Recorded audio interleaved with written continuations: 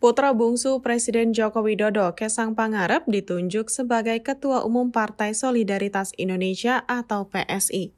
Pengumuman Kesang Pangarep menjadi Ketua Umum PSI itu disampaikan dalam acara Kopi Darat Nasional atau Kopdarnas yang digelar di Jakarta Teater, Jakarta Pusat, Senin 25 September 2023. Kesang diketahui ditunjuk sebagai Ketua Umum PSI setelah dua hari resmi menjadi anggota.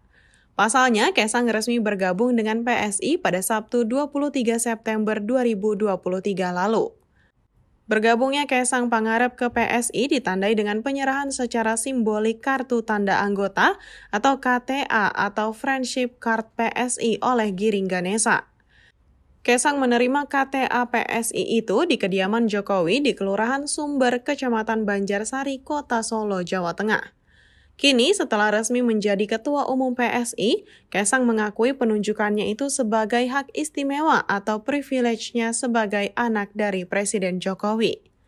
Hal itu disampaikan Kesang saat ditanya mengenai penunjukannya sebagai Ketua Umum PSI yang dinilai terlalu cepat.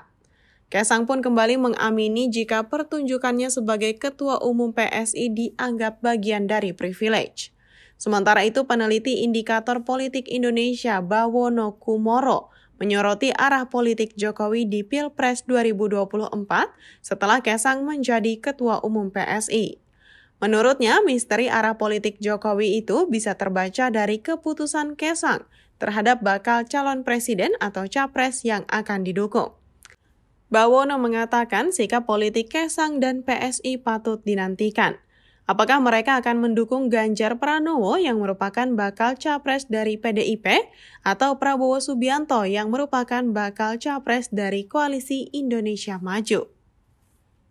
Jangan lupa follow Instagram, Facebook, dan YouTube kami untuk terus mengikuti perkembangan terkini berita Banjarmasin Post.